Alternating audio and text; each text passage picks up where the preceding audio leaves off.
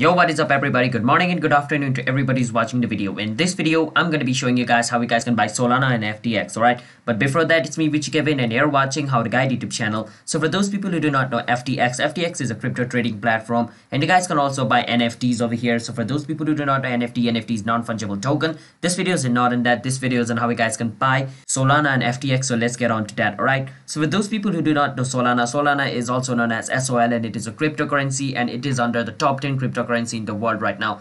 Its current rate is around $198, but its rate might go up or might go down depending on the time which you guys are trying to buy it, alright? So my current price is 198 so let's get into the video on how you guys can buy that. But before that, if you guys are new to this channel, don't forget to hit that like and subscribe to our YouTube channel with notification on so you guys can get notified for a future video. Let's move on, shall we? Now, the first step is you want to go to ftx.com and log in into your account. After you do that, you go on Versus Spot.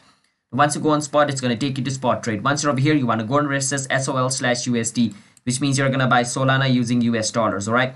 Once you're over here, you want to scroll a bit down and you want to enter the, you know, amount of Solana you want to buy. Let's say I want to buy two Solana. The price of one Solana is 197, which means my total is around 395.48. Now, if you scroll a bit down, there's going to be buy button over here. Now, remember, it says complete identification verification for me because I still have not verified my two-step verification. But if I did have verified that, it was going to say buy Solana over here. So if you guys have completed the two-step verification, it's going to show you buy SOL or buy. You just want to click on it, then basically your Solana will be bought. All right. So yeah, that's basically how you guys can buy Solana. So basically SOL slash USD means I'm going to be buying Solana, you know, using USD.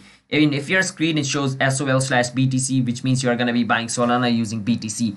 So you might want to change it on the currency which you want to use to buy Solana. All right.